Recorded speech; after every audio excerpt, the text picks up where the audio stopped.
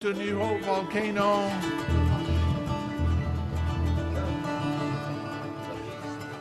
Ladies and gentlemen, It's Sandy.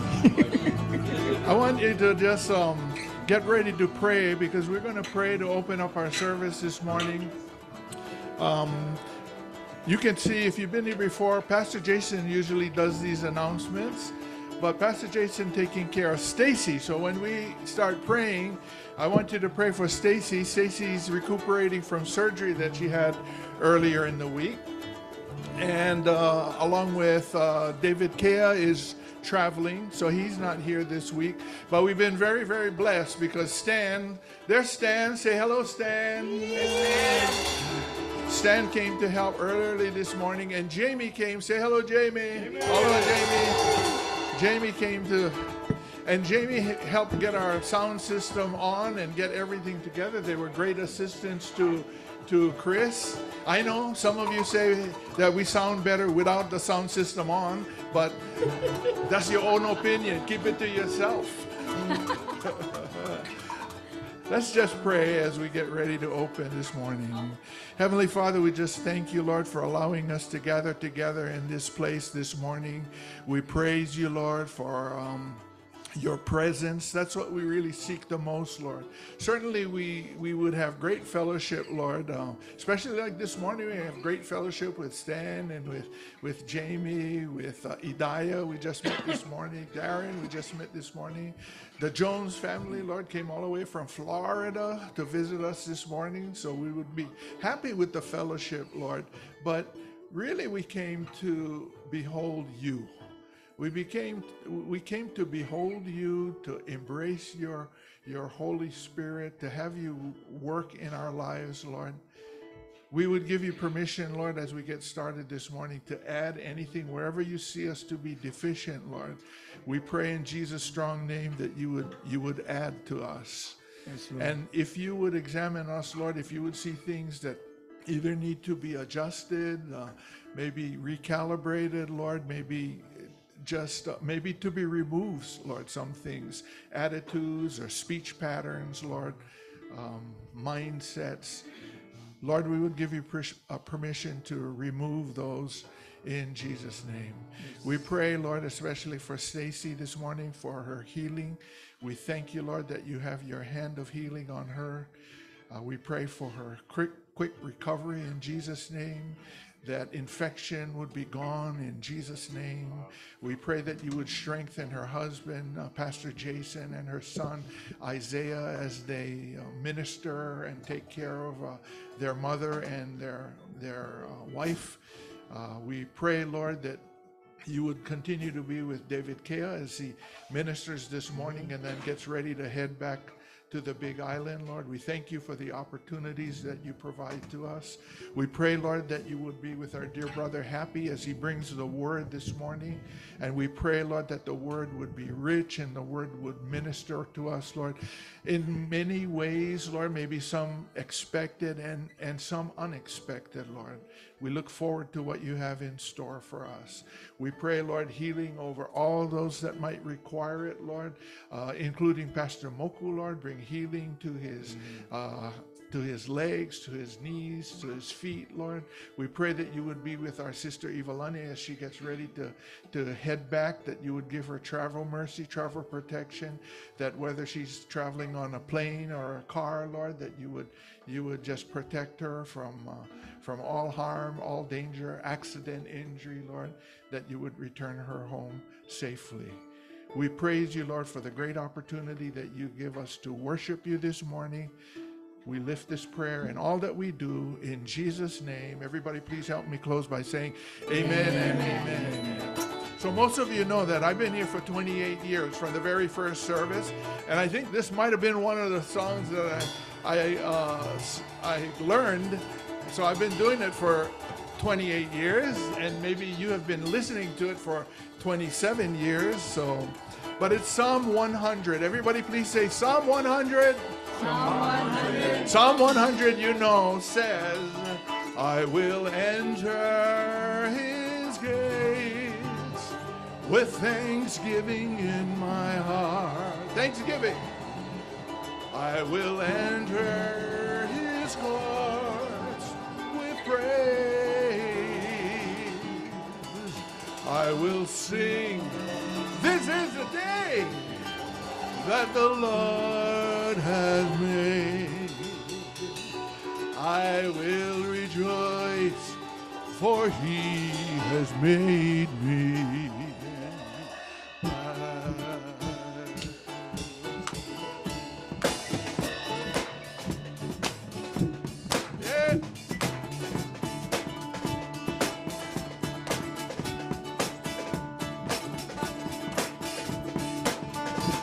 I will enter his gates with thanksgiving in my heart. I will enter his courts with praise. I will sing this is the day that the Lord has made. I will rejoice for he made me. Sing it again. I will enter his gates with thanksgiving in my heart. I will enter his court with praise. I will sing, this is the day that the Lord. I will rejoice, for he has made me. He has made me. Glad. Oh, he has made me glad. I will rejoice, for he has made me glad. He has made me glad. Oh, he has made me glad. I will rejoice, for he has. I will enter his gates with thanksgiving in my heart. I will enter his will sing, this is the day that the Lord has made. I will rejoice, for he has made me. He's made me. He has made me glad. Oh, he has made me glad. I will rejoice, for he has made me glad. He has made me glad. He has made me glad. I will rejoice, for he has made me. I will rejoice. I will rejoice, for he has made me. I will rejoice. For he made me. What a fellowship, what a joy divine, leaning on the everlasting arm. What a blessedness, what a peace is mine, leaning on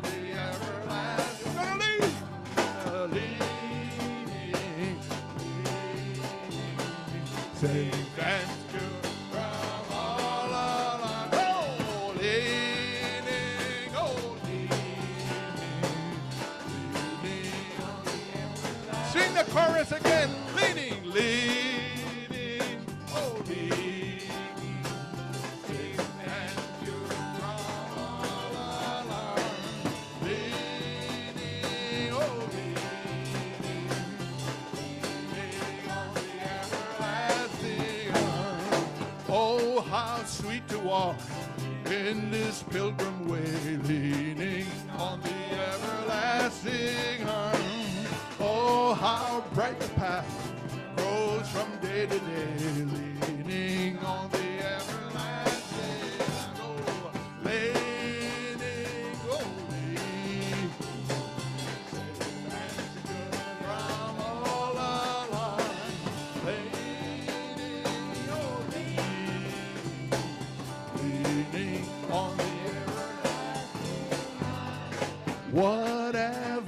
dread? What have I to fear? Leaning on the everlasting arm. I have blessed peace with my Lord so near.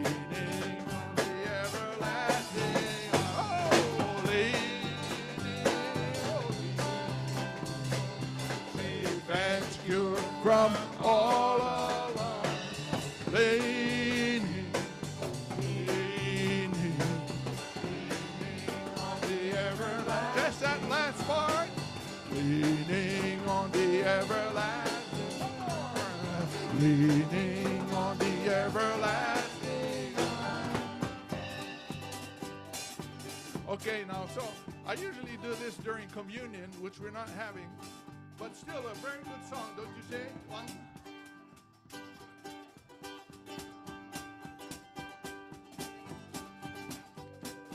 Would you be free from the burden of sin?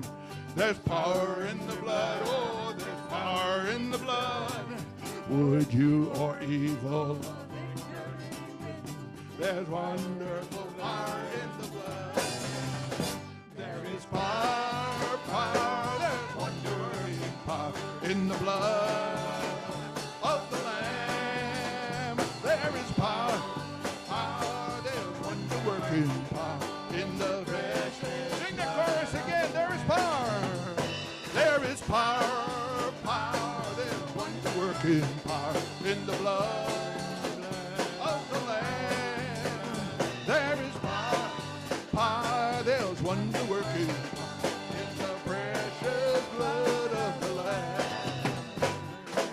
Would you be free from your passion and pride? There's power in the blood, oh, there's power in the blood. Come to a cleansing at Calvary's time. There's wonderful power in the blood.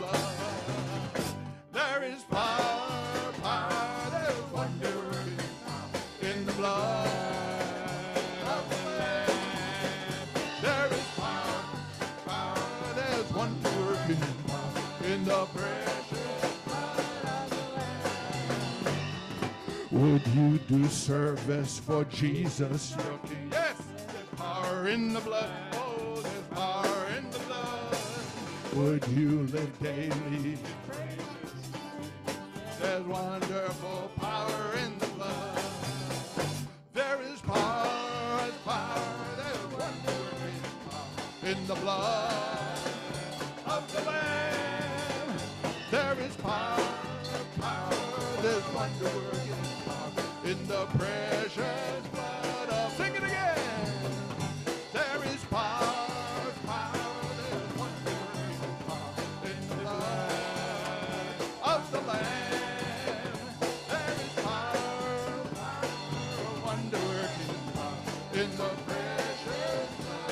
Just that last part. In the precious blood of the Lamb. In the precious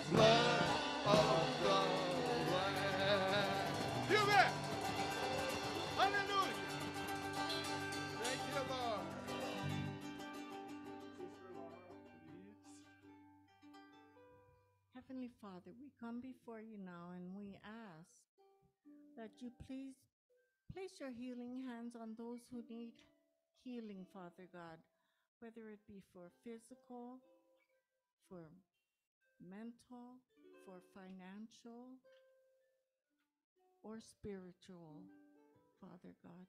We ask for your healing for every every single one of these, Father God. For you know what everyone needs, Father. But you said we need to ask. And so we are asking, Father God. Please be with those who need the healing, Father God. We love you. We praise you. We give you all glory and honor. In Jesus' precious name I pray. Amen. Amen. Amen and amen. Lord, I give you my soul. I live for you alone. Every breath that I take, every moment I'm awake. Lord, have sing that again, sing that again. Let me and Lord, I give you my heart, I give you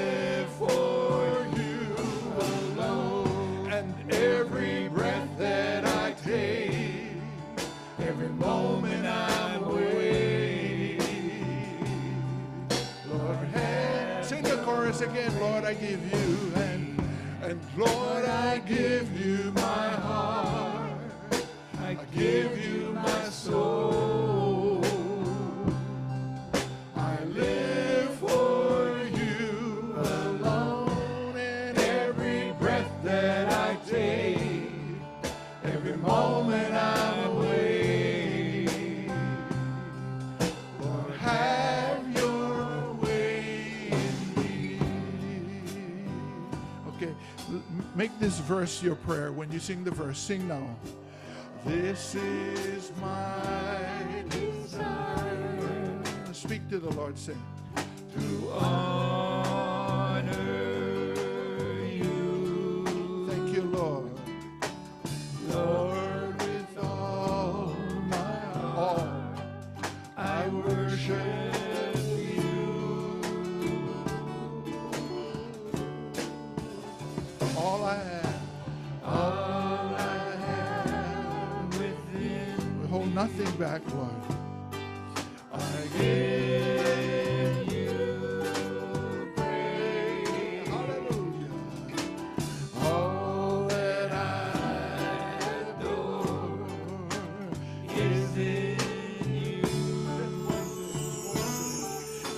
voices now. Just lift your voice to the Lord. Lord, I give you my heart. I give you my soul.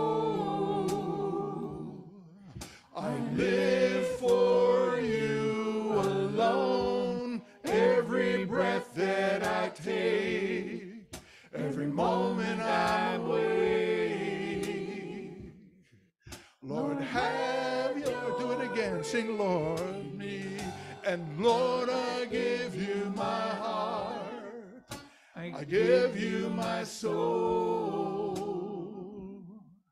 I live for you alone. Every breath that I take, every moment I'm awake. Lord, have your way in me. Just that last part. Lord, have your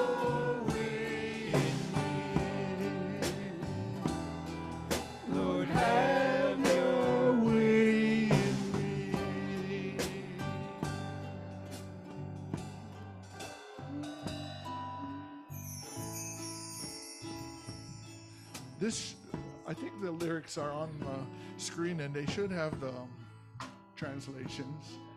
Is there translations up there? No. Is it just the words? Is- there not translations underneath? No. Are you sure? Pretty sure. Are there?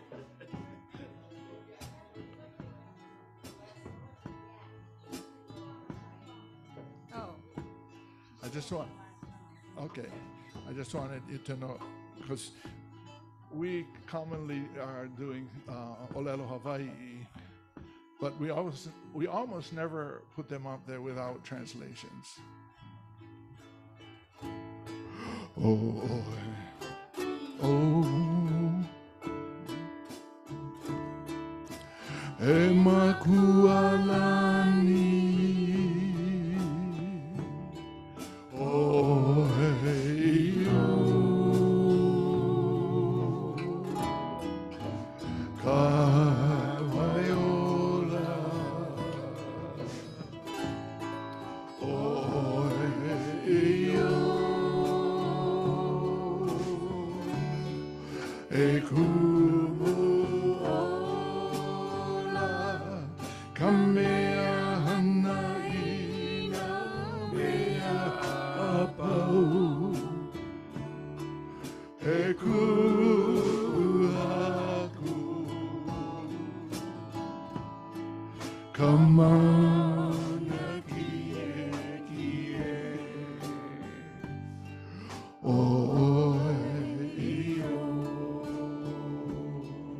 Sing again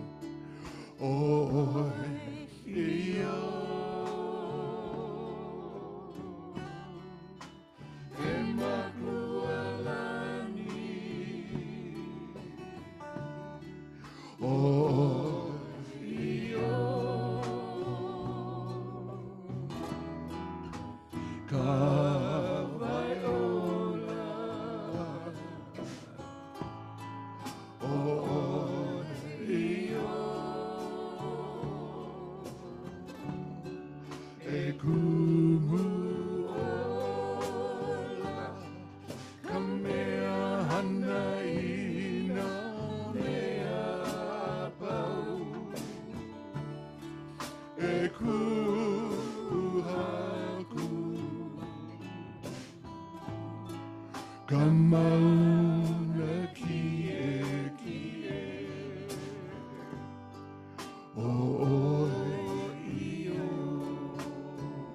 that last line Eku Eku.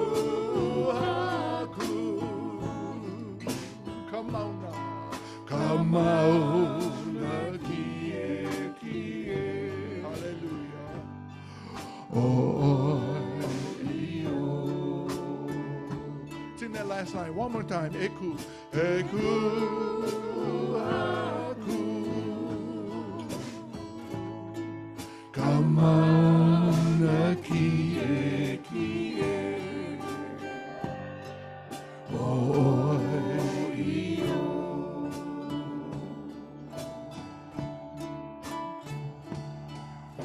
Love.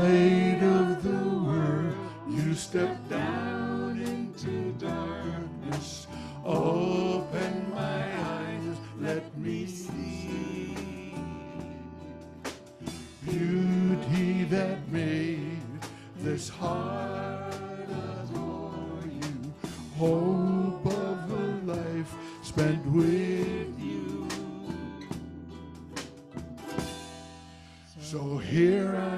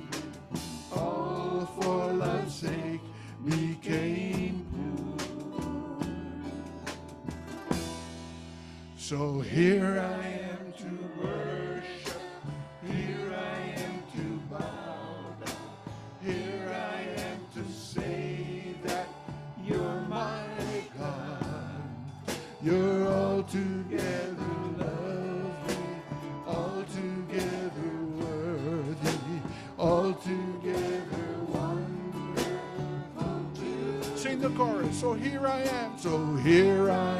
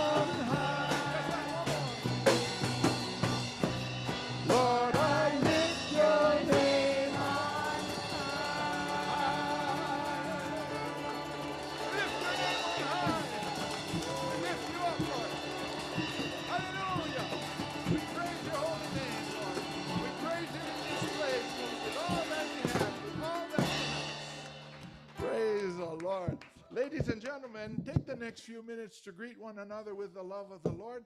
Don't forget there's people out in the lanai. Say hi to them. And don't forget when Chris comes around with the iPad, say hi to all of the people that are tuned in on the virtual audience. Take the next few minutes to do that.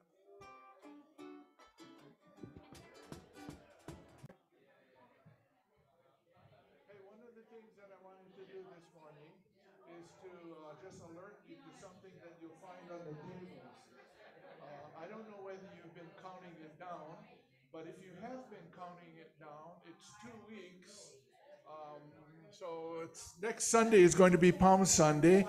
The following Sunday is going to be Easter Sunday. And I don't know if you have given any thought of how uh, you're going to invite your friends and your family or exactly who you are going to invite. But uh, to help along with that, there are cards on your seats this morning and out on the table. You can use those cards, and there are more of those if you need it. I would encourage you to use that as a tool to invite people. So you don't, if you feel like you want to give a, you know, a long personal invitation, then please do so, uh, led by the Spirit of the Lord. I'm sure you're going to do fine. If, on the other hand, you need a small tool that will help you, I think those cards are good because actually you could, you know, even if you meet someone, a stranger, and anything about Easter comes up, you can give them a card. Just like uh, uh, probably some of you have heard this story before, but I was standing in line at KTA around Christmas time, and there was a lady standing right in the back of me that had her hair like this. And she had Christmas like a shaped like a tree, and she had Christmas lights uh, on it, and they were lit. and I said, "Hey, can I take a picture of that?" She said, "Yes." And I said, that would be fantastic at church. In fact, we're having Christmas, Christmas Eve service. You should come if you're anywhere near Volcano Village. Now, maybe that suits the, your personality and your evangelistic style. Uh, but if not, use the cards, pass them on, as I said, and do use them because you know I can't uh, reuse them for next year. They're dated for this year, so pass them out to everybody that you know uh, this uh, this week, all through the week. Uh, come back next week. We're going to have cards again, and then following that Easter Sunday, which we're going to have a great celebration.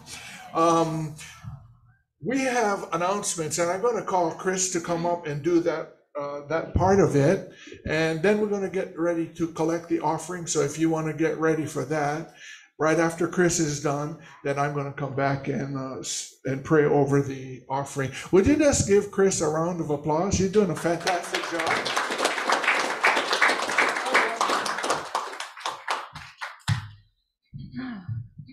All glory to God. Shoo. Yeah. Especially those of you who have been praying for some support with uh, AV team. Yeah. Woo. Two guys just show up at 7:30 this morning, ready to rock. It's awesome. Yeah. Hallelujah. David might not get his job back. All right, so Monday people will be getting together to pray. So tell them specifically what they can pray for by putting it in the bowl back there by Kiala or passing a note to any of us so that they can pray specifically for your need. Uh, Wednesday, I don't know if Dave, if um, Jason's going to have Bible study on Wednesday. Um, I guess we'll see how Stacy's doing and all that, but he usually sends an email to the regular Bible study crew. Um, if you're not on that regular email and you still want to come, you could email or text me and I can find out for you. Uh, Thursday hula, five o'clock, right here As I sometimes say, you can come and dance and exercise and praise the Lord, and you won't be you won't be pushed into practice to dancing on Sunday mornings. You can just dance for fun, right? Right? Okay. Hallelujah. Praise the Lord. Um, Friday night, celebrate recovery. Uh, we are now serving dinner at 5:30, so it would be nice if some people came to eat some of the food I provide. Um, and then at six o'clock is large group. 6:30 is um, or six seven o'clock is um, small group. And you know, I was just thinking that we don't know how long we have on this earth, right? God does not want you to spend one of those minutes alone with your pain, grief, heartbreak, depression, guilt, and shame, right? So come to celebrate recovery and get some of those tools so that tomorrow will be a better day. Uh, men's ministry, April 15th, that's the third Saturday. Yeah. 9 a.m. Breakfast is served. And uh, that's also the day of thrift shop. Thrift shop is the first and third Saturdays. Um, so that's April 1st and April 15th. And April 15th also happens to day, be the day that everything in the thrift shop is free, free, free. So that might be a good day to go shopping. Yeah. Um, women's ministry, watch your email and pray for Stacy. She'll let you know uh, when she'll be able to start that back up again. Uh, we are on newhopevolcano.com. You can go there and some of us even have our names and pictures there to help you identify us. Tells you about all the different ministries, all the message notes, and the links to the videos. But the videos are also housed on YouTube last two and a half years. If you want to like, you know, binge watch some sermons, I recommend it. uh, we also have a Facebook page and a YouTube. You just type in New Hope Volcano and pop, there we are. Uh, we also send out a weekly email with the message notes and who's preaching and any other information. So if you'd like to get that, please make sure I have your email. Mahalo. Thank you, Chris. Ladies and gentlemen, we're going to get ready to collect our offering, tithes and offering this morning. Um, so I said when we opened the service, most of you were here, maybe some of you came after we started. So I've been here for 28 years, and I was reminiscing with somebody recently that in my school of church planters, the first class that uh, New Hope Hilo started, in that class, there are only two people that still minister, actively minister in the present day, 2023. Wayne Cordeiro, our mentor in Oregon, and us, me, here at New Hope Volcano. Yeah, I can do that. Now, now one of the things uh, that it becomes very evident, especially after each year goes by, is how faithful the Lord is. Because I could have been one of those others, because there are some that have gone home to be with the Lord. They left this earth, classmates of mine that left this earth to go home to be with the Lord. There are some that are still here, but they're out of ministry. Um, many, many different, you know, paths people took. But I find it uh, very reassuring to me personally about because He's God's demonstrated His faithfulness to us over and over and over again. The fact that we we worship here this morning in this very comfortable place on this six and a half acre no mortgage uh, campus is just a testimony to his faithfulness through you. And we have never, I had a discussion with, so, with somebody recently, and they were ex, uh, speaking about their experience in attending a church for the first time. And the tithes and the offering collection was kind of an uncomfortable time for the first timer. That's why most of the time, either David Kea or Pastor Jason or myself always take uh, take time to say, if you are visiting us, if you're a guest of ours this morning, then we would prefer that you hang on to your money. We would prefer that you keep your money and just allow the Lord to give to you what we can give to you. Through us, the Lord is giving. So if you're here for the first time, you're our guest, then just hang on to your money.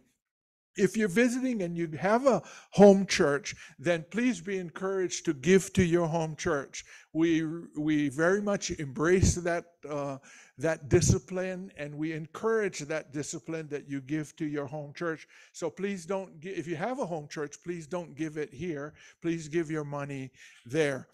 For all of the rest of you who are members and friends of New Hope Volcano, we want to thank you again, and we want to uh, just uh, remind you that it is really through your faithfulness that we have come through all these many years. And if the Lord is willing, we'll leave year 28 and we'll head into year 29. That'll be our anniversary, December 24th. If that sounds good to you, please say amen.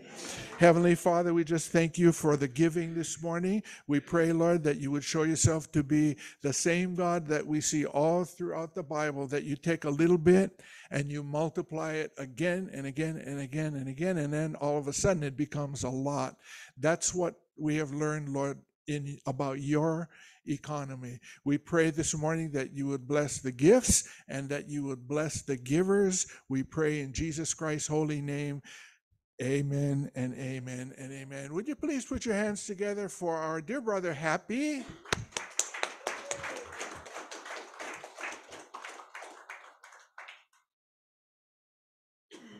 Morning, church. Morning. Let me do things a little bit different to start off. Usually I like to come hanging out and doing eye contact and kind of doing, you know, visual to see how everybody was doing. Um, but today's sermon's going to be basically on the Holy Spirit. Okay, I actually started preparing to do another sermon. Um, and then the Holy Spirit says, no, you, this is, this is what you got to do.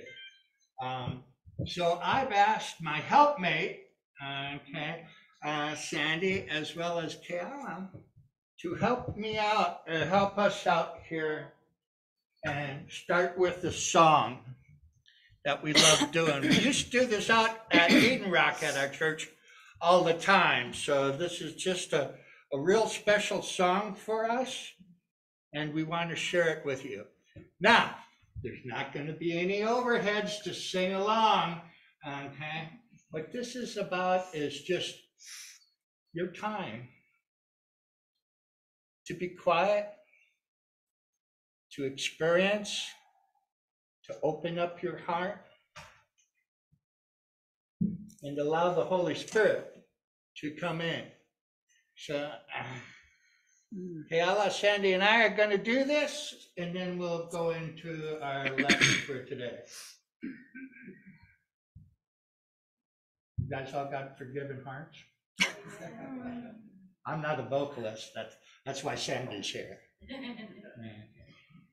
Thank you, Randy, wherever you are, for the guitar.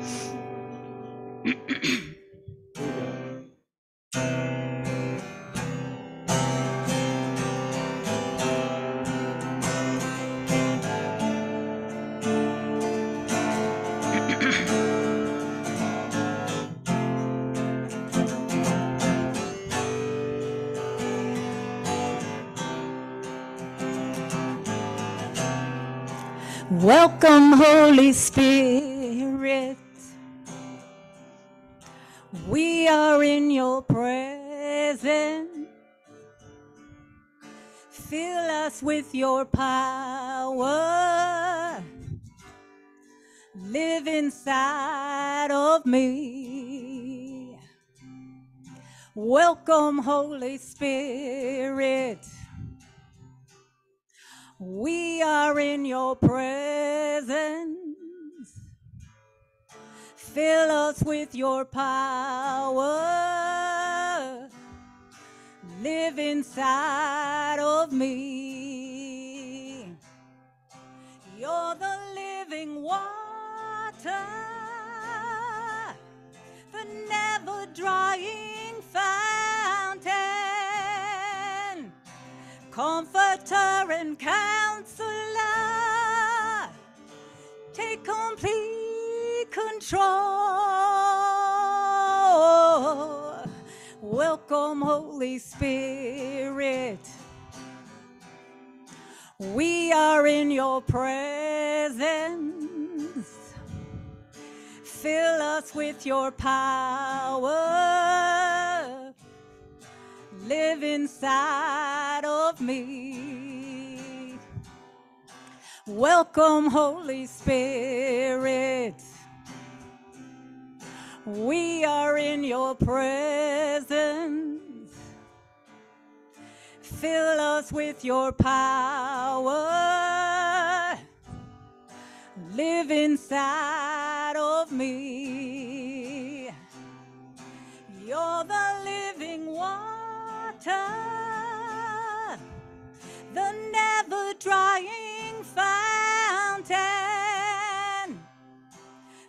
comforter and counselor. Take complete control.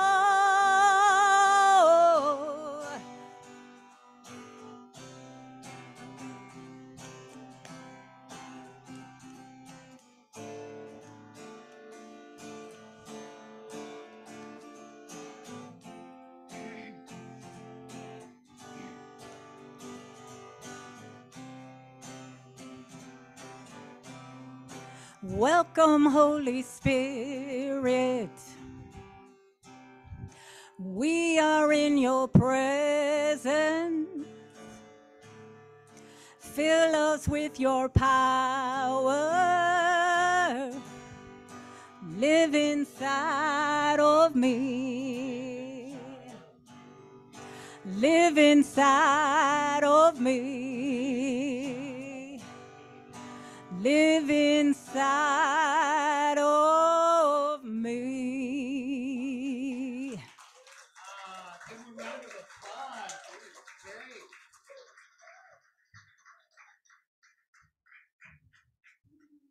Oh, thank you.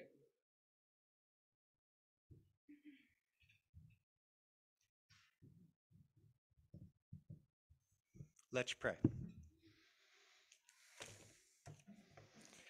Father God, Lord Jesus, Holy Spirit, what a joy. What a joy it is to come before you, to be here with all our friends and loved ones and church family to be in one accord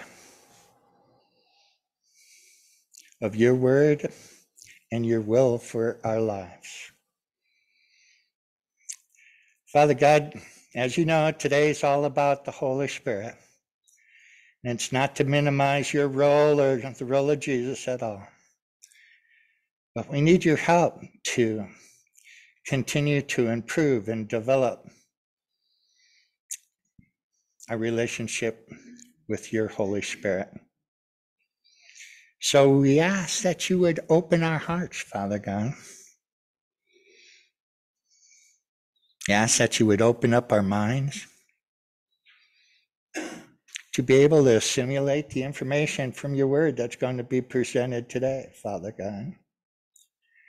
And Lord, it would be my my prayer that as we leave here today, each and every one of us will have grown and experienced a deeper relationship with God the Holy Spirit. And in Jesus' name, everybody said, Woohoo! Let's do this. Okay. Now we got the PowerPoints up and running. What a great PowerPoint that was, huh? Okay. Thank God. Okay. You know, the Holy Spirit is probably the, the least understood person of the Trinity. Among the myths and the mistaken concepts are the shared that are shared. He has been described as a force, a ghost, a second class, a replacement God. I think the problem is that most of the time the Holy Spirit gets confused with the manifestations themselves. Thereby, he has been presented as an incidental figure and appears momentarily at times. I'm here to tell you nothing could be further from the truth. It is vital for us, the church, to know the Spirit, to learn to relate to Him personally, and understand how He manifests Himself in our lives. Therefore, in today's message, we're going to dive into John 16, verses 5 through 15 to find out who the Holy Spirit really is, what he does, and how can we activate his presence in our life. First of all, let me start off with kind of painting a picture of the context that we're going to be looking at in John 16. Jesus and his disciples were all gathered in the upper room to participate in what has become known to us as the Last Supper. Jesus knew that the hour had come for him to physically leave this world and go to be able to sit at the right hand of God the Father.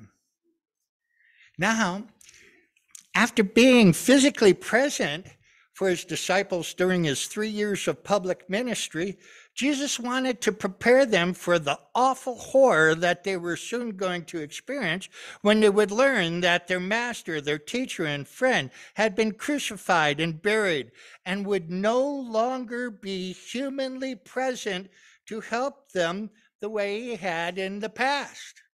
Can you imagine? Whoa! Therefore, Jesus now wanted to give his disciples hope and explain his final instructions and clarify for them how they would move forward in his physical absence. You know, it's amazing to me to note that in the scripture verses we will be looking at today, that in spite of the fact that Jesus knew he was soon going to be crucified and suffer the most horrible ag- agony, um, being beaten, spit upon, verbally taunted in the cruelest ways, and finally crucified, that at that moment in time in the upper room, he was not thinking at all about himself, but it is his disciples and how they would be empowered to carry on the work in which he started and included them in.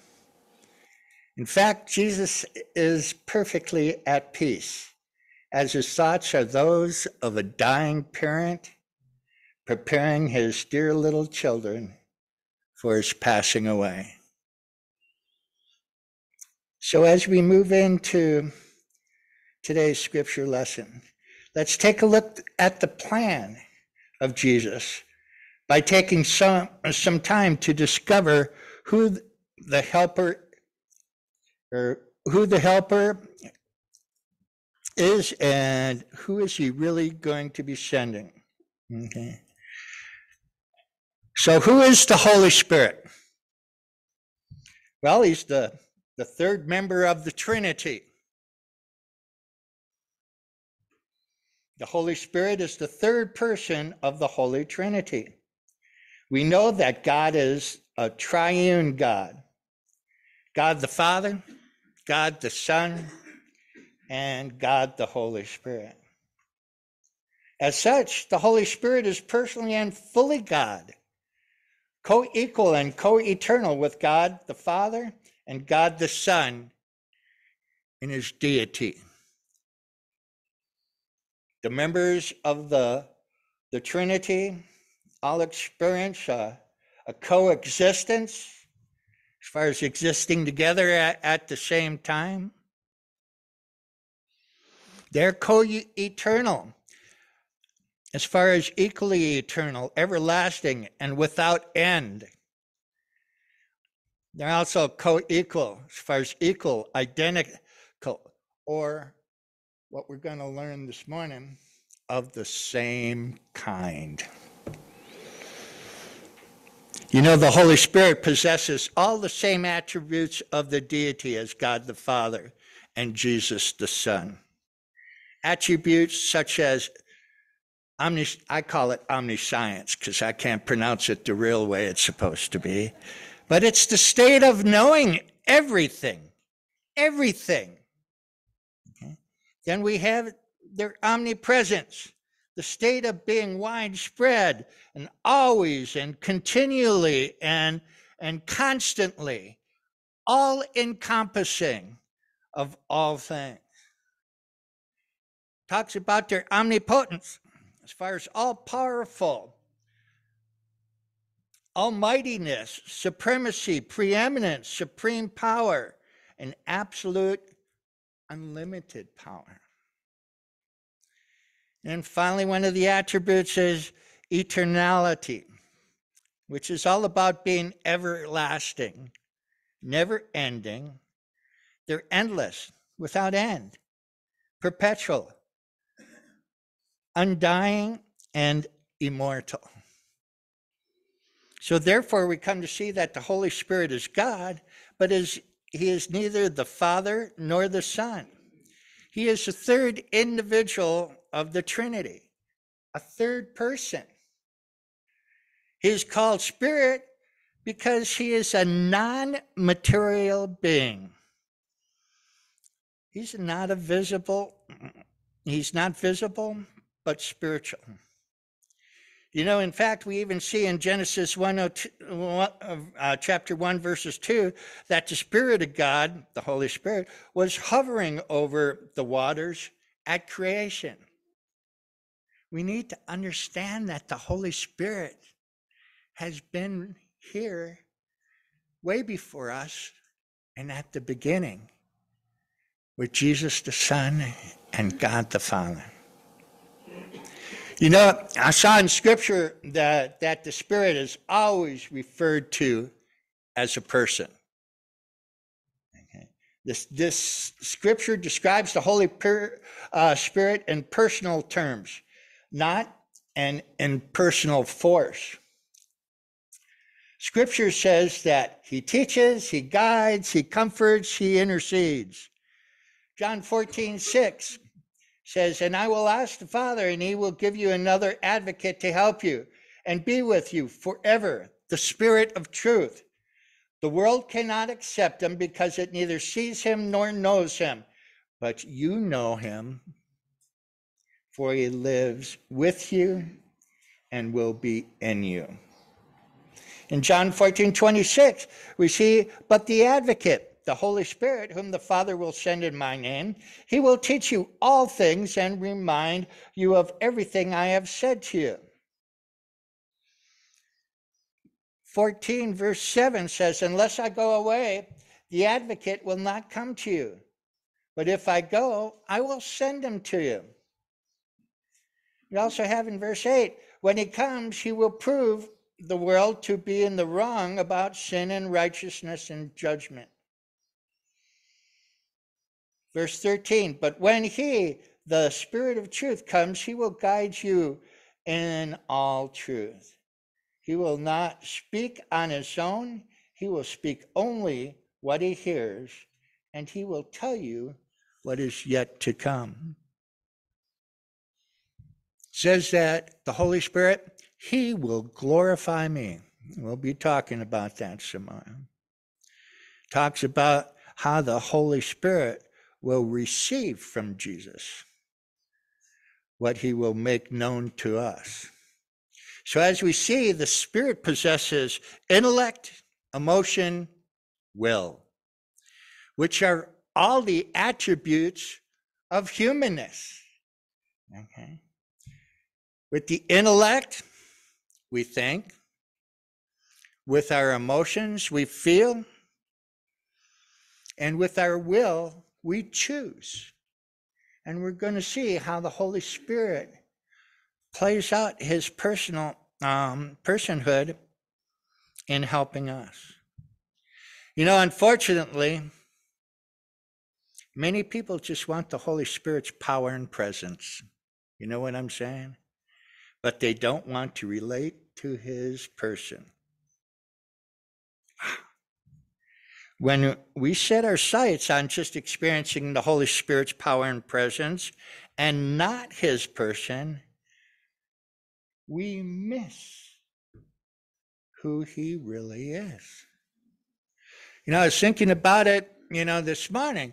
And, and one way of thinking about it, if you're not in line and have a personal relationship with the Holy Spirit, you're only getting two thirds of the Trinity.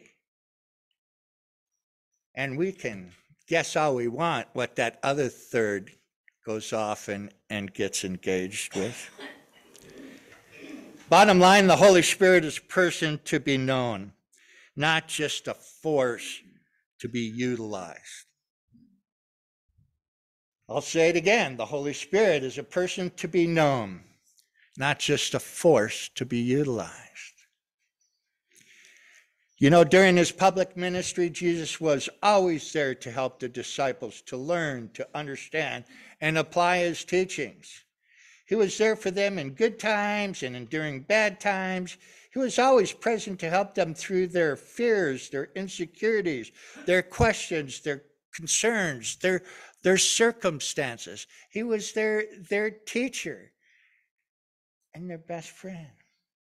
Therefore, we see in John 14, verse 18, Jesus saying, Don't worry, I'm not going to leave you as orphans. I'm going to come to you. So Jesus is saying to them that I'm not going to leave you.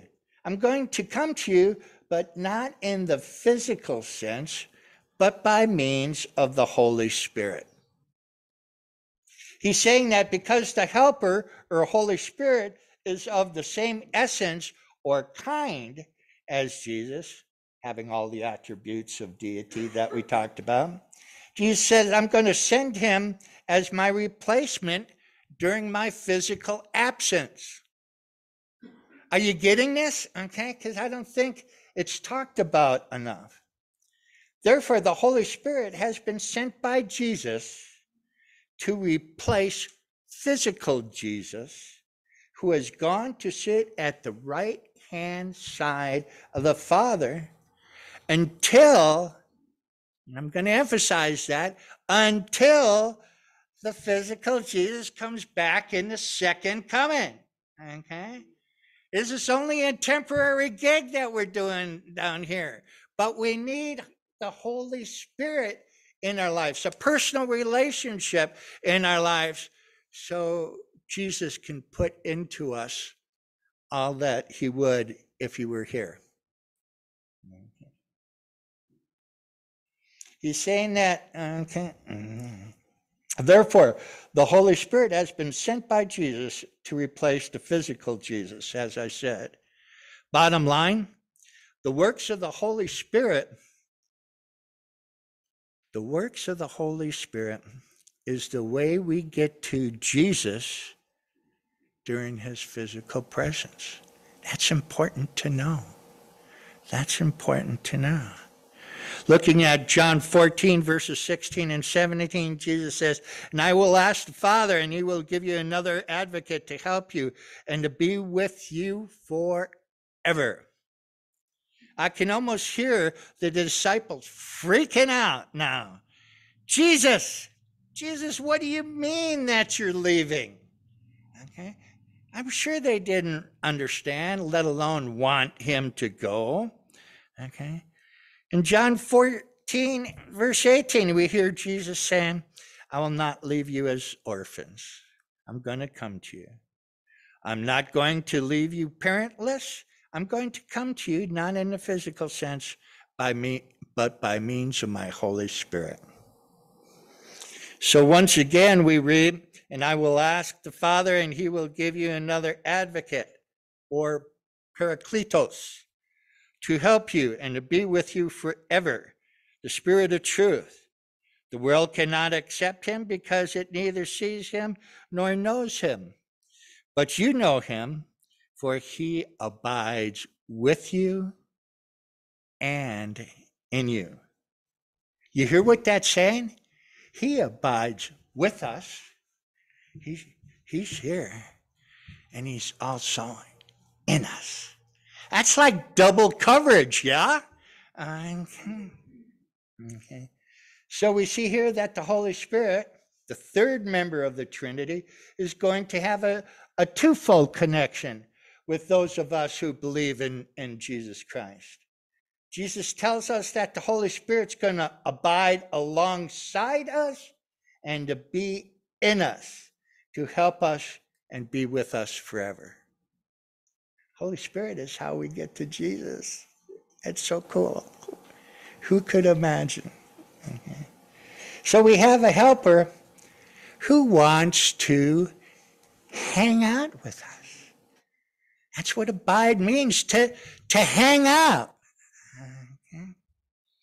This means that for those of us who believe in Jesus, here's the, the news flash.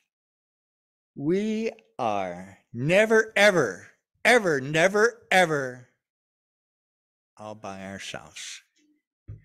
Folks, I'm here to tell you there is no getting away with saying, Oh, I'm so lonely. I'm all, you know, we have the Holy Spirit who's our partner, who rides shotgun with us, who's with us every moment of the day alongside of us. And if that's not enough, when this produces stuff in the inside, he's also on the inside taking care of that stuff. Man, what a recipe of love that Jesus had given us.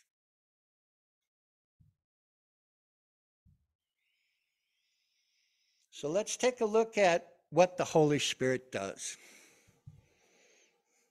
As I said, He abides with us and He is in us.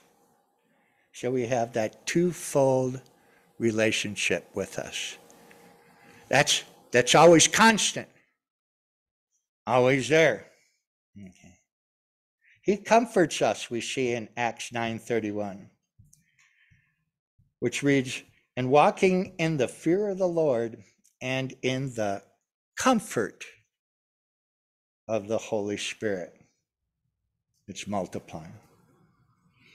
You know, another use of the word parakletos is advocate one who comes alongside. It's like a lawyer in a courtroom who comes to our defense to plead our case. He's there for us, okay? And Jesus being the mediator, okay, has it, it's like we get this awesome coverage of how to keep us from experiencing the wrath of God and his judgment that we'll receive if we don't have a personal relationship with Jesus Christ and the Holy Spirit to line up with God the Father. The Bible also talks about the Holy Spirit being our guide.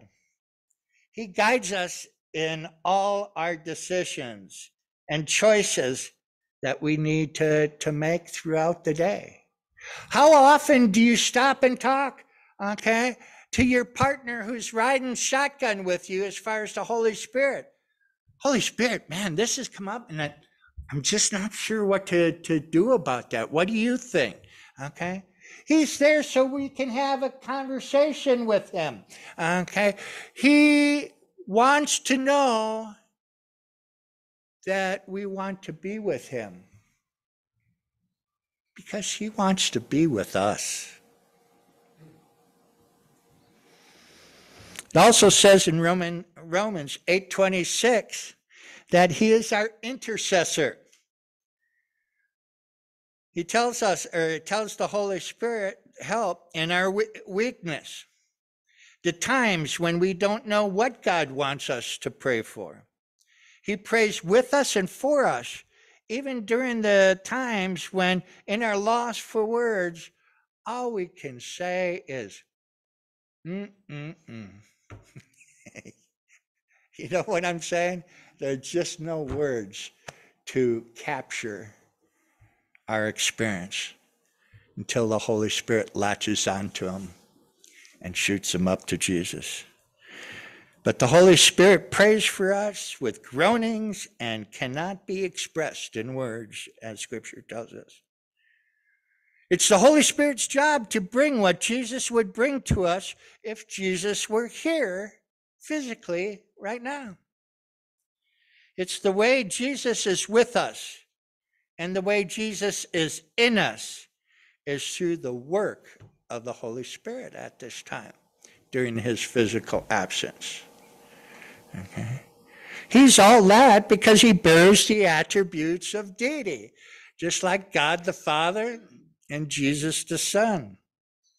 The Holy Spirit, the third member of the Trinity, is the way Jesus hangs out with us right now, is through the Holy Spirit. Is this making sense? You think? I, hope. God, please. Okay. Once again, the news flash is that with the Holy Spirit, we're never alone. We're never by ourselves if we are believers in Jesus Christ. Now, having established who he is, having established what he does, the question then becomes how do we activate his presence in our lives so that we know he's here? Well, we know because God says it? But I got to tell you, I also want to know because I experience it. For me, there's nothing better. Mhm. So, how do we experience the Holy Spirit rather than just knowing about the Holy Spirit? Do you see the difference? That there's a difference there? How can we connect with the Holy Spirit so that Jesus' reality is being experienced by us? Because the job of the Holy Spirit is to bring us the experience of Jesus Christ in our lives. First of all, let us consider we need to be developing an intimate, meaningful relationship and fellowship with the Spirit of truth. We need to be spending prayer time with the Holy Spirit, acknowledging His presence, His deity, His role in our lives, just as, as much as we share that time with God and, and the Lord Jesus. It's a triune deal. Okay? Making up God from one another. And like I said, when we don't experience all three relationships, okay, we're only experiencing two thirds of what God has for us. I'm here to tell you, I'm a pretty selfish person. I don't like settling for two thirds. You know what I'm saying? How do we connect with the Holy Spirit so that Jesus' reality is being experienced by us? The Holy Spirit doesn't just want to be visited by us every now and then. Like I said before, several times now, He wants to hang out with us. He wants to roll with us. He wants to find joy with us. He wants to point the. ah, Did you see that? Man, that was a 1959 Chevy Bel Air. You know how awesome those cars were? Let me, you know, bottom line, we have real, real conversation with him. Because he's the one that's here. He is alongside of us and he is in us. And it is how God communicates through the Holy Spirit to us and how the Holy Spirit shares those things from Jesus the Father. In Galatians 5:22, scripture tells us to walk in the spirit during the course of our lives. What do we do when we walk? First of all, acknowledging that we got to move. Happy, get off your chair. You got to go do this. Okay. We're moving. Okay. Also, there's a dependency, or actually, before the dependency, we got to know where we're going. Guess where the Holy Spirit is telling us to go? To the will of God. Walking in the Spirit, or just plain walking, okay, we take steps.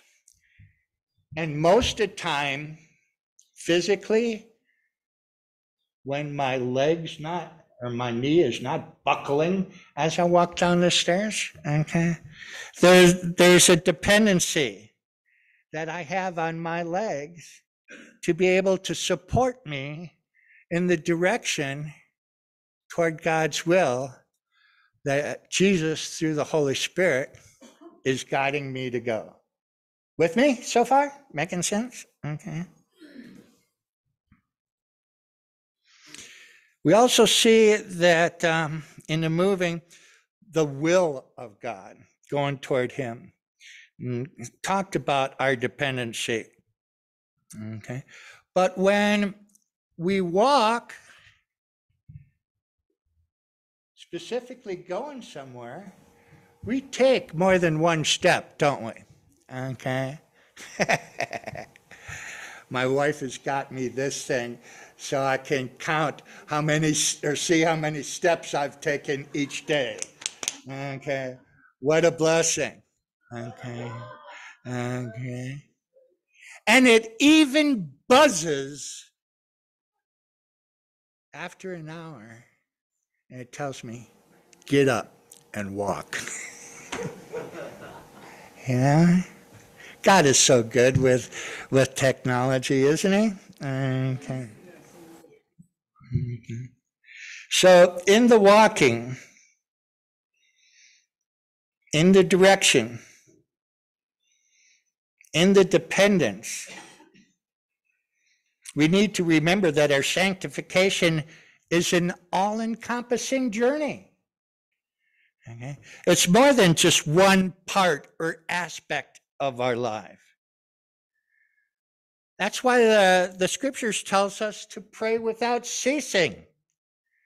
As the Holy Spirit abides in us and is in us, we are to be communicating all the time, not just during those emergency situations in our life.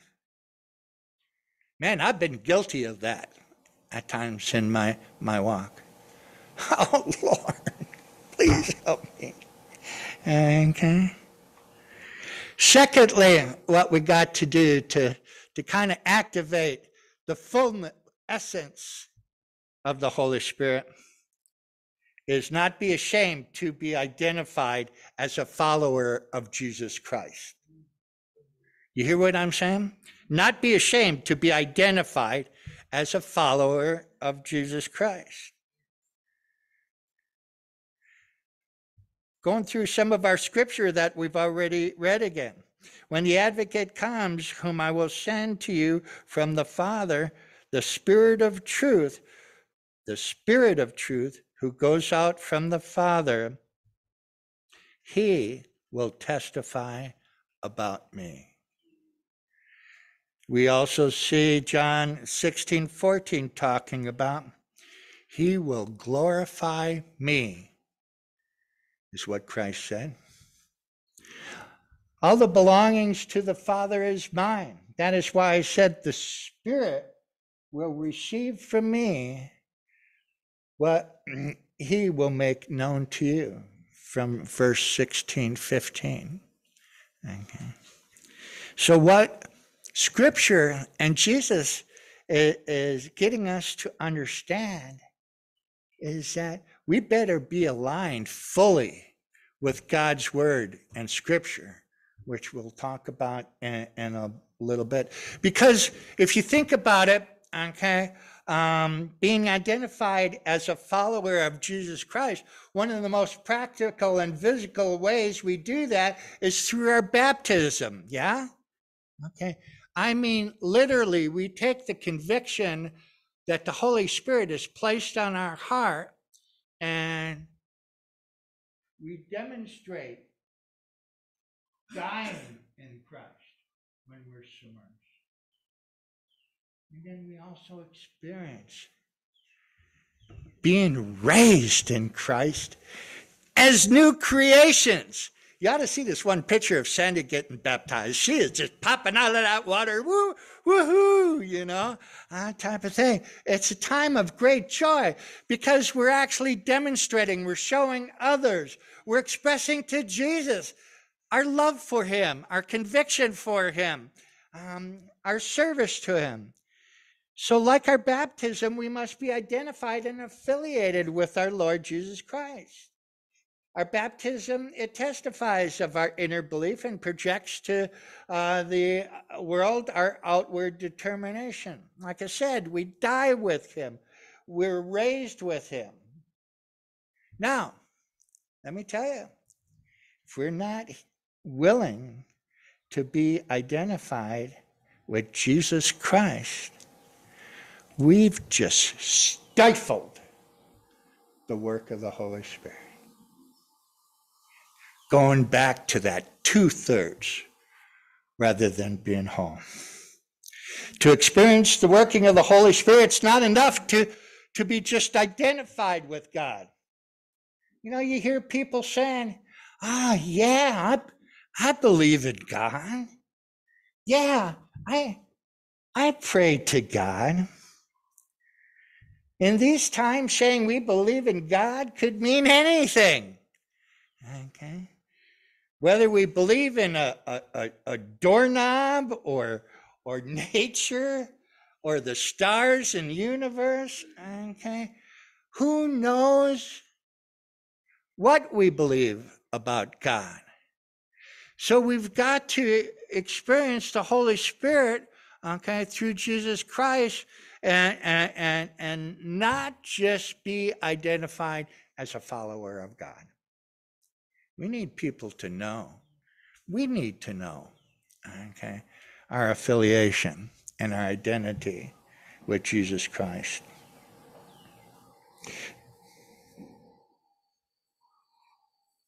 Remember, the Holy Spirit is placing the Jesus, uh, or replacing Jesus, the Son, during his physical absence. It's the goal of the Holy Spirit to testify of Jesus.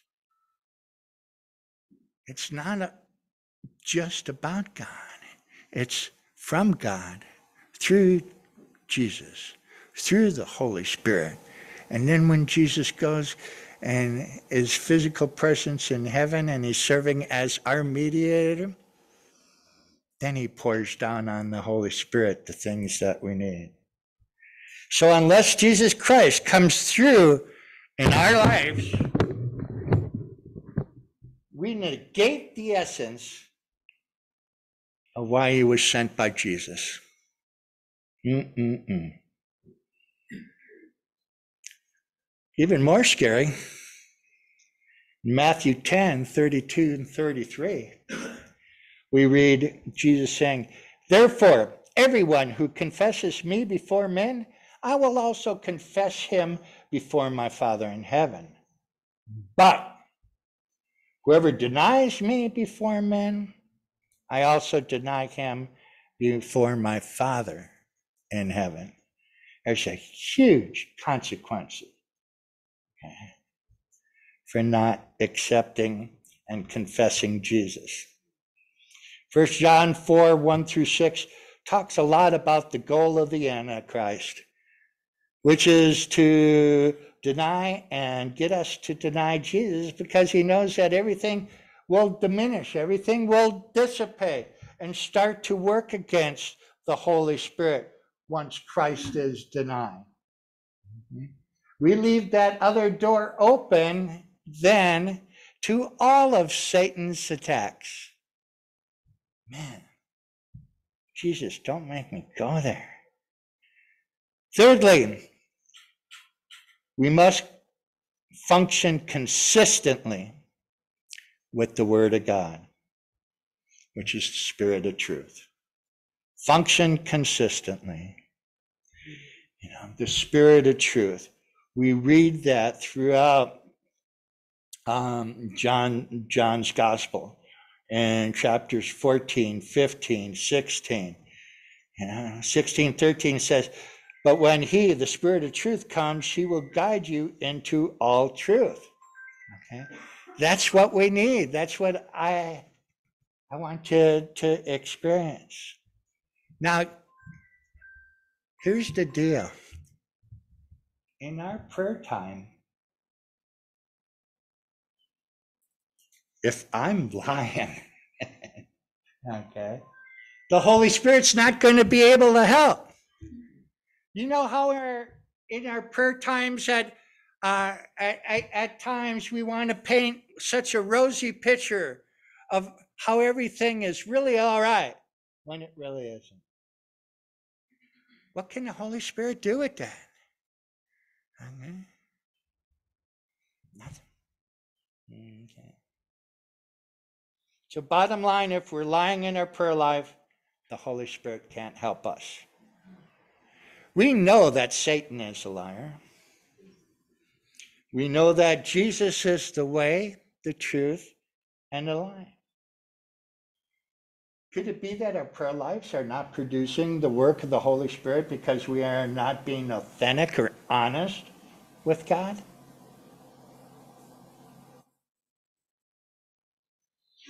Have, have we learned to camouflage our truth with theological language, telling God that everything is all right, like I said, when it really isn't?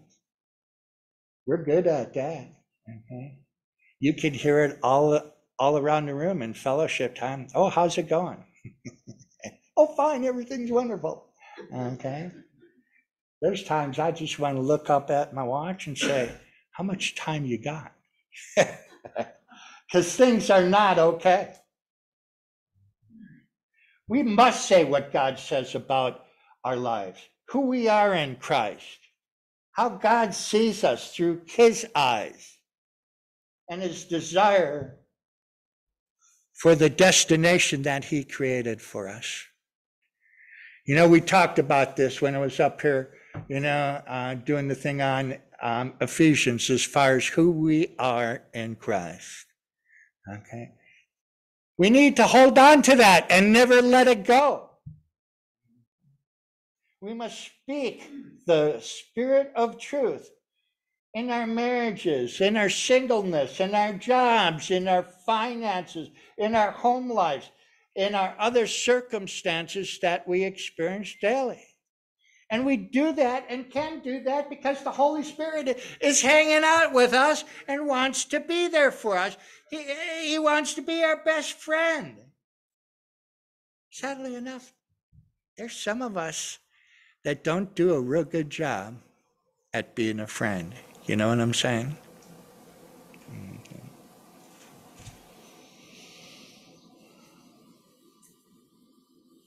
Lastly, God take a look at the advantages of Jesus' departure. John 16, 7 says, um, where Jesus says, Nevertheless, I tell you, it is to your advantage that I go away. It is to your advantage. You know, for, for me, when I, I first started to, to chew on that, you know, it just didn't seem to sit well. And it doesn't sit well, well with most folks. And I can imagine it didn't sit with well with the disciples when when Jesus was telling them. You know, it, it, it's like I can hear him saying what I would say. Jesus, we don't want you to go. We just we just want you here. We can see you. We can touch you. We can hear you. Uh, when you talk, we can hold you. We can we can hug you. Any of you guys see my streamer about me being a hugger this week? Okay. Jesus, we don't want you to leave. We just want you. How can you say that we'll be better off? Good question. Okay. and realistic concerns sitting, you know, in the or standing in the disciples' shoes. So what's the advantage? Here we go.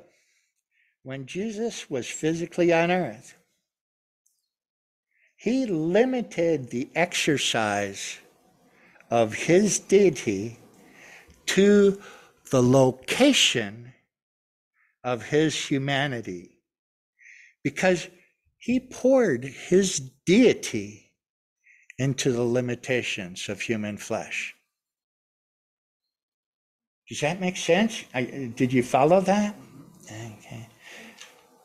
I'll say it again. When Jesus was physically on earth, he limited the exercise of his deity to the location of his humanity because he poured his deity into the limitations of the human flesh. We know that Jesus was born through the human birth canal. We know that he grew in wisdom and stature and in favor with God and man. We know that Jesus lived a physical life. Now, he did God's stuff, but he did God's stuff where he was located. I read somewhere that Jesus never traveled more than 300 miles from his place of birth. Because he limit, because he was limited in his location, we we see the limitations in the Bible in regards to the expression of his deity. You ever notice that he, he just kind of helped one person at a time? And that was certainly his nature because he really believed in one at a time relationships. So when we read in John 16, 7 that Jesus says, It is to your advantage that I go away, we can now understand that the advantage is the Holy Spirit who is always with us and always in us. He can be everywhere at the same time because his deity is not limited by human flesh. Now no one has to be denied access to Jesus. Are you hearing what I'm saying? The Holy Spirit who walks alongside, the, the Holy Spirit that is in us, the Holy Spirit that has all the attributes of deity is out there free to roam. Okay? The disciples are sitting in the upper room because Jesus told them, hang out here. I'm going to send the Holy Spirit. They're sitting around, kind of, you know, licking their wounds and, and, and, and sharing their grief when all of a sudden the windows and doors open up and whoosh, on comes the presence of the Holy Spirit. We read throughout the Gospels and the New Testament how the Holy Spirit intervened in such a way where all we can do is say, wow, that's incredible. And much of the time, it's beyond my compre- comprehension.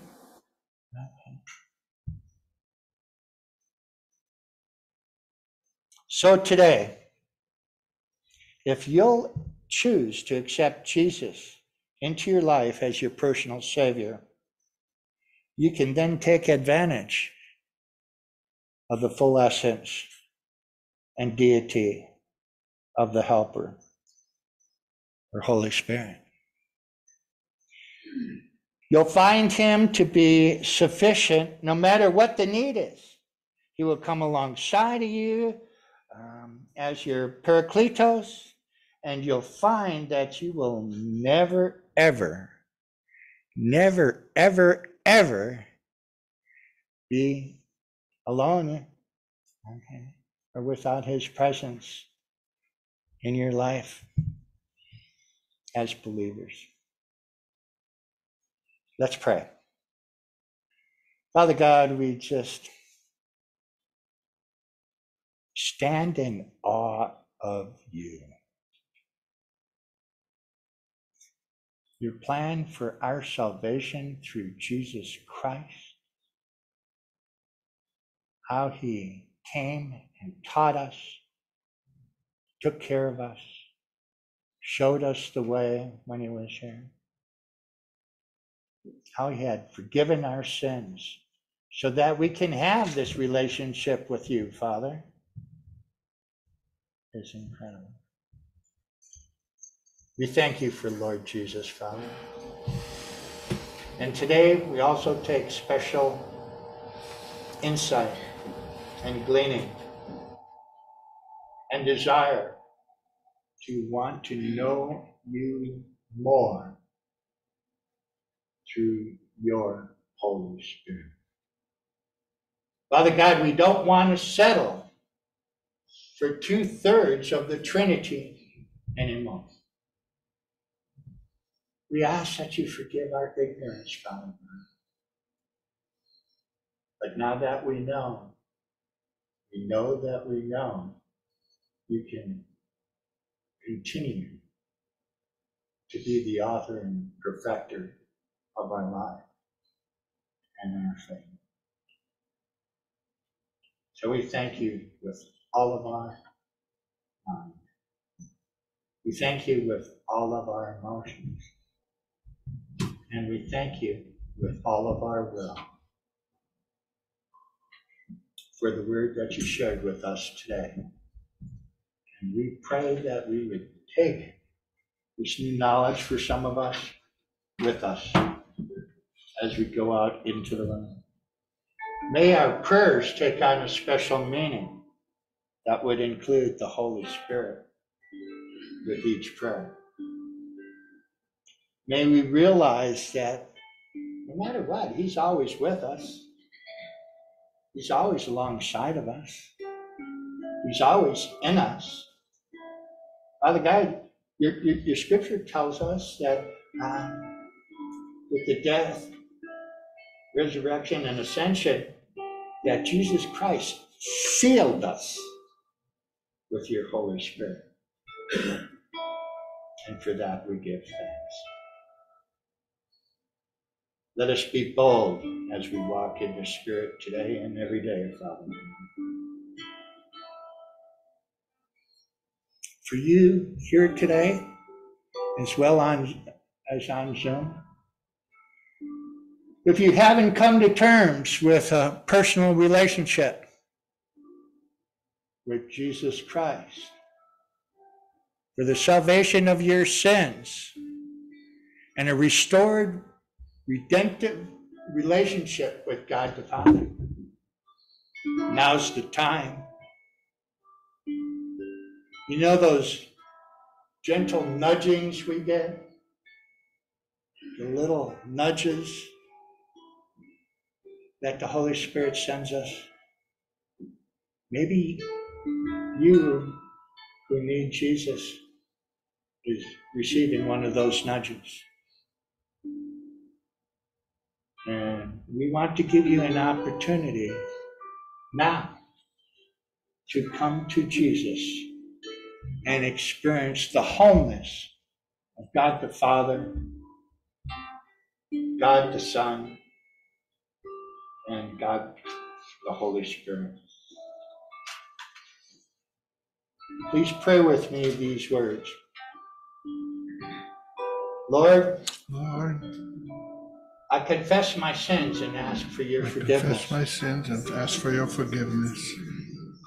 Please come into my heart Please come into my life as my Lord and Savior. as my Lord and Savior. Take complete control Take complete control of my life of my life. and help me to walk in Help me to your walk. footsteps daily. in your steps. By the power of the Holy Spirit, By the power of the Holy Spirit, we thank you, Lord, for saving me for saving me, and answering my prayer. answering my prayer. And in Jesus' name, In Jesus' name. says, Amen and amen and amen. Let's give Happy a round of applause. Thank you, my brother. You know, um, If you have ever read any of my blogs, you know that I tend to le- lean toward one word titles, sometimes two, maybe three, but they're short. And I was thinking as I was listening to Happy share the message, I came up with three titles for your message, Happy. So I called it, my first one was With and In, because that's what he said, right? The Holy Spirit is with us and in us. So I like that. I like that title, With and In. And then my second one was, uh, this is a very long one many branch offices and we're always open because the holy spirit is now with every one of us and is always open you always can get to the holy spirit because he lives with and in and then the last one this is kind of uh, one where um, so i named the last my last title was walk on and walk on um, i thought uh, I thought about because in 1969, anybody remember 1969? All you old people, 1969. So there was a guy named Edwin Starr. And Edwin Starr wrote a song and recorded it called 25 Miles. And there was a part of the song says, I got to walk in, I got to walk on. And the part I like of the song it says ah ah ah ah ah ah ah ah ah ah ah ah and that's what I'm going to do. Especially when you know you are making reference to when we talk around here. Hey, how you doing? Good, good, good. Well, sometimes it's not too good.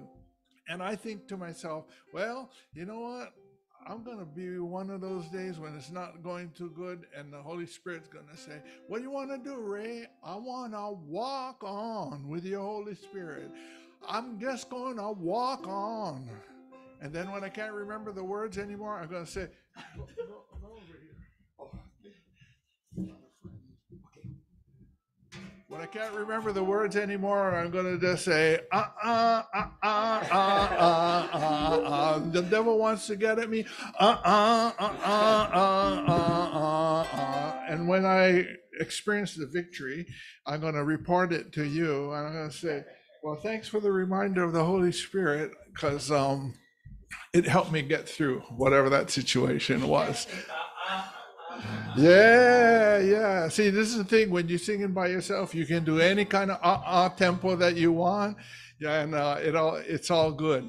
So um, this is the official conclusion of the service. I want to remind you again. Take the Easter card, pass it out to all your friends and family, all everybody that you that you know, everybody that you think might uh, benefit uh, by hearing the word preached.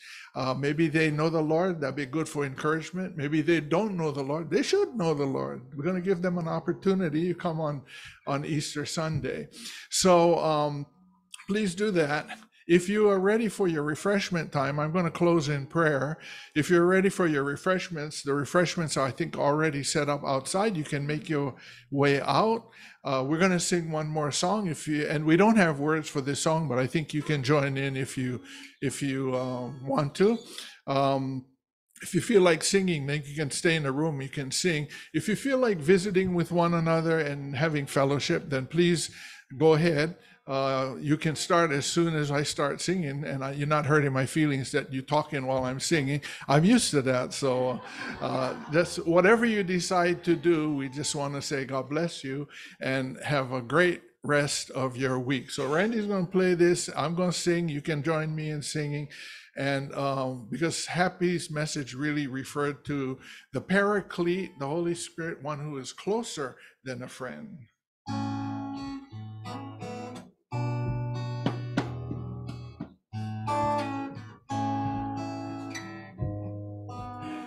When you're down in trouble and you need some love and care and nothing oh nothing is going right.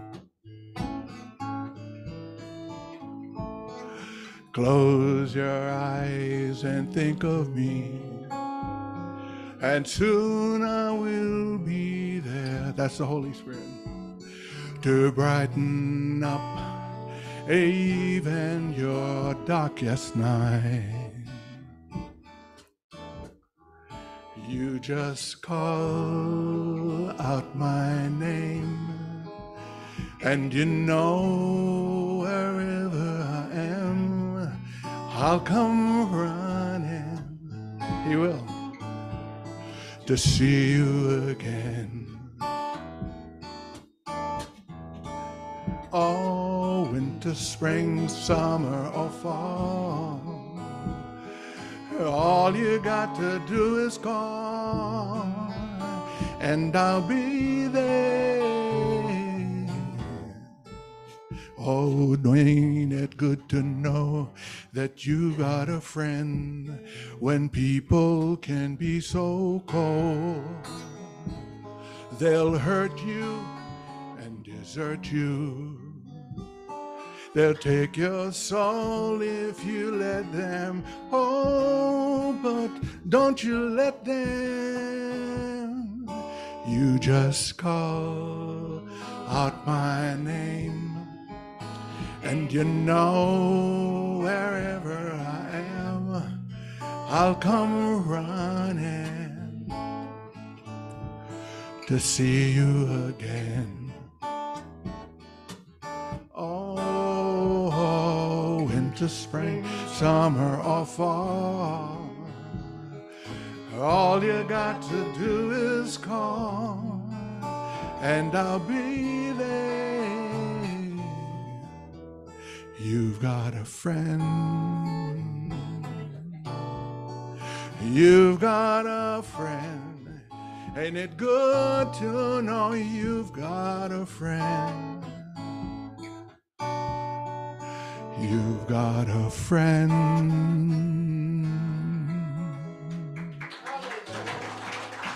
God bless you.